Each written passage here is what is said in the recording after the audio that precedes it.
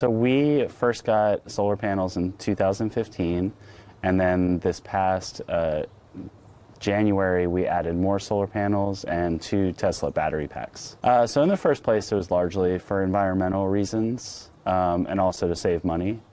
And adding the batteries, the reason was that uh, my wife has to work in the ER, so if there is a hurricane and we uh, we basically have to return to the city as fast as possible so she can go to work. We compared a whole home generator, um, like a gas generator, versus the Powerwalls. And actually uh, getting the quote for installation of the generator with all the labor and the lines that would have to be run uh, to connect it and everything, it turned out to be um, a lot more expensive than I imagined and then the difference in cost between a generator and solar wasn't really that bad. I would say that you'll hesitate a little bit with the initial cost of your investment, but um, when a hurricane does come and the power's out for everybody, you'll be very thankful that you decided to invest that. Um, and it over time does pay for itself. I mean, my energy bills are like $30 a month right now. I would recommend people just invest in the whole home, uh, you know, Powerwall system uh, with solar panels and the Tesla batteries because you will benefit from it every single day, not just when there's a hurricane. And when there is a hurricane, you will feel very, very good about your decision. The Hurricane Zeta, um, we stayed because um, it was Category 2. If it was a Category 3, I probably would have gone. But um, being here, we expected the power to go out, and um, obviously it did. Uh, and we you know, had power the whole time. Um, the lights kind of flickered and the battery pack came on. Um, for about five days, my block did not really have uh, consistent power.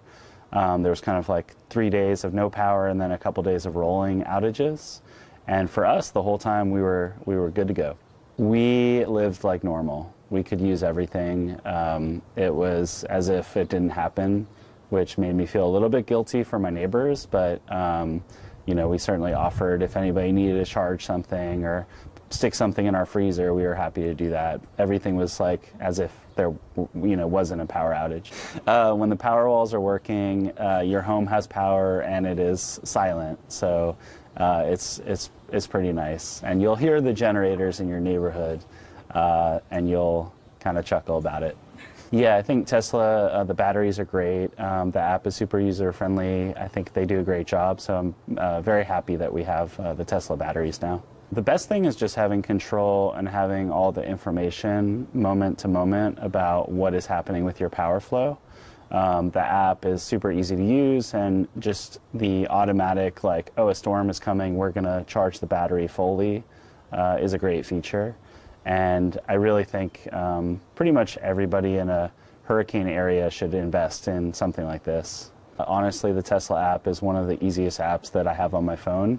Um, it is uh, just clear as day, and I love um, you know checking it pretty much every week to see, oh, this week our home was 82% energy efficient, or checking it to see, oh, our home this week was 100% energy efficient, which is, you know, great because I'm saving a lot of money that way especially when we think long term about life in Louisiana. You have an insurance policy for all the power outages that will occur, um, and especially with a hurricane because we know that the power can be out for a week or two weeks, sometimes longer.